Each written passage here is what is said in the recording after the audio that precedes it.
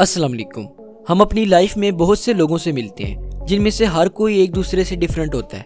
ये difference height की वजह से भी हो सकता है। कुछ लोगों की हाइट बहुत ज़्यादा होती है, जबकि कुछ लोगों की हाइट बहुत ही कम। कुछ ऐसे लोग भी होते हैं जिनकी हाइट नॉर्मल होती है। हाइट का ये डिफरेंस जो मुख्तलिफ़ लोगों में वेरी करता है, वो बेसिकली एक हार्मोन की वजह से होता है, जिसे हम ग्रोथ हार्मोन कहते हैं। चाइनीज़ एंडोक्राइनोलॉजिस्ट जो हाउली ने 1966 में ह्यूमन ग्रोथ हार्मोन को डिस्कवर किया था। ग्रोथ हार्मोन की टू टाइप्स हैं सोमेट्रोपिन और सोमेटोट्रोपिन सोमेटोट्रोपिन वो हार्मोन है, जो सिर्फ़ एनिमल्स में प्रोड्यूस होता है। ये एनिमल्स में नेचुरली प्रेजेंट होता है और ग्रोथ में इम्पोर्टेंट रोल प्ले करता है। सोमेट्रोपिन हार्मोन को आर्टिफिशियली तैयार किया जाता है। सोमेट्रोपिन को रिकॉम्बिनेंट डीएनए टेक्नोलॉजी के प्रोसेस से तैयार किया जाता है। अगर हम ह्यूमन ग्रोथ हार्मोन के स्ट्रक्चर पर बात करें तो ग्रोथ हार्मोन एक प्रोटीन है, जो 191 अमाइनो एसिड से मिलकर बनी है। इस प्रोटीन का मॉलिकुलर वेट अप्रोक्सीमेटली 22,124 डाल्टन है। ग्रोथ हार्मोन फोर हेलिक्स से मिलकर बना होता है। ये हेलिक्स ग्रोथ हार्मोन को ग्रोथ हार्मोन रिसेप्टर से बाइंड करने में हेल्प करते हैं। ह्यूमन ग्रोथ हार्मोन हमारी बॉडी का वो सब्सटेंस है जो हमारी ग्रोथ को कंट्रोल करता है। ग्रोथ हार्मोन्स को पिचुटरी ग्लैंड प्रोड्यूस करता है। पिचुटरी ग्लैंड ब्रेन की बेस में प्रेजेंट है जो हमारी बॉडी के बहुत से इंपॉर्टेंट हार्मोन्स प्रोड्यूस करता है। ग्रोथ हार्मोन बच्चों को लंबा होने में मदद करता है। इसके अलावा ग्रोथ हार्मोन मसल्स के मैस को इंक्रीज और बॉडी फेट को डिक्रीज करता है। ग्रोथ हार्मोन बॉडी के मेटाबॉलिज्म में भी हेल्प करता है। ये वो प्रोसेस है जिसमें सेल्स फ़ूड को एनर्जी में चेंज कर देते हैं और एनर्जी को बॉडी अपने फ़ंक्शन परफॉर्म करने में यूटिलाइज कर लेती है। अगर बच्चों या फिर बड़ों में ग्रोथ हार्मोन बहुत ज़्यादा क्वांटिटी में बनने लग जाए तो इन्हें हेल्थ प्रॉब्लम भी हो सकती है। ग्रोथ हार्मोन का ज़रूरत से कम बनना भी बॉडी में सवेयर इश्यूज़ क्रिएट करता है। ग्रोथ हार्मोन की ज़रूरत से ज़्यादा प्रोडक्शन जो सिचुएशन क्रिएट करती है उनमें जाइगेंटिज्म और एक्रोमेगाली शामिल है। बच्चों में ग्रोथ हार्मोन की ओवर सिक्रीशन से जो बीमारी पैदा होती है, उसे जाइगेंटिज्म कहते हैं। इस बीमारी में बच्चों के अंदर ग्रोथ हार्मोन की प्रोडक्शन बहुत ज़्यादा होती है, जिसकी वजह से उनका कद एबनॉर्मली बढ़ने लगता है।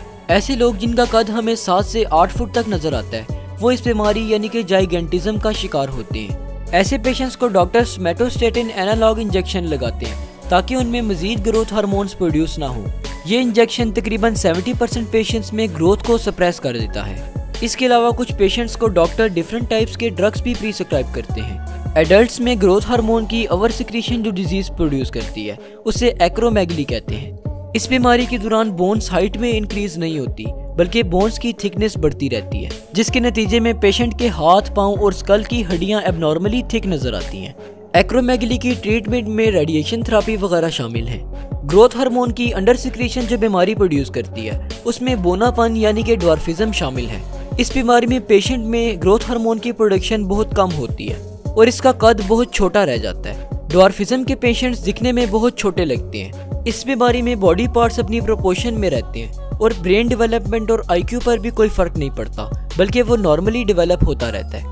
डॉर्फिज्म के पेशेंट्स को रेगुलर बेसिस पर ऐसे इंजेक्शन इंजेक्ट किए जाते हैं, जिनमें सिंथेटिक ग्रोथ हार्मोन्स मौजूद हों।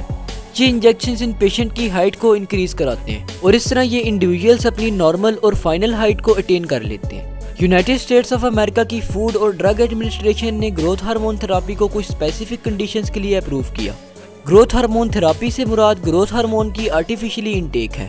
ऐसे पेशेंट जिनको ये डिजीजेस हों उनको ग्रोथ हार्मोन थेरापी की जाती है। लेकिन ग्रोथ हार्मोन थेरापी किसी स्पेशलिस्ट डॉक्टर की प्रिस्क्रिप्शन पर ही की जाती है। कुछ इस तरह की कंपनीज़ भी बनती जा रही हैं, जो ग्रोथ हार्मोन को एंटी एजिंग ड्रग के नाम से सेल कर रही हैं। एंटी एजिंग ड्रग से मुराद ऐसी ड्रग्स हैं, जो बॉडी में एजिंग के प्रोसेस को स्टॉप कर सके। जबकि ग्रोथ हार्मोन का एजिंग को स्टॉप करने में किसी भी किस्म का कोई रोल नहीं है, और न ही साइंटिफिकली इसका कोई प्रूफ है।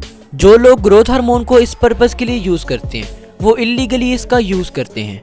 ग्रोथ हार्मोन के अब्यूज से जो हार्मफुल साइड इफ़ेक्ट प्रोड्यूस होते हैं, उनमें muscles pain fluid buildup AIDS heart diseases और जॉइंट्स की स्वेलिंग वगैरह शामिल है। डॉक्टर की हिदायत के बगैर ग्रोथ हार्मोन की इनटेक टोटली इलीगल और अनवांटेड है।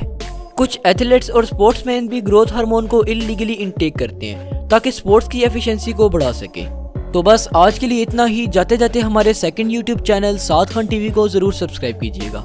शुक्रिया। अल्लाह हाफिज़।